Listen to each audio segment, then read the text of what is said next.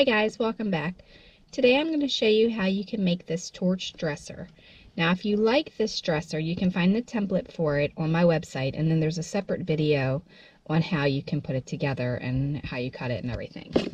All of the drawers and everything open up on this dresser.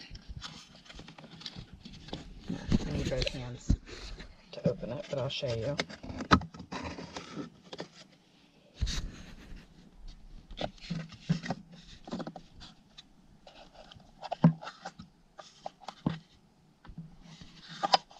Okay, so it's designed by my dad and I, and then um, I did this torch technique. I do not recommend you do this technique unless you are experienced with a torch, and definitely don't do it in your home. And if you are going to do it, do it at your own risk.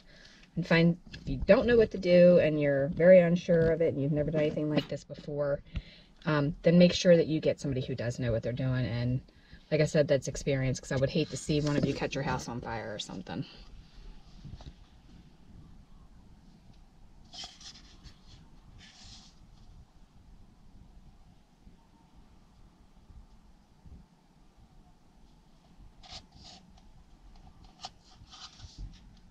This is without gloss, and then this is with the polyacrylic gloss.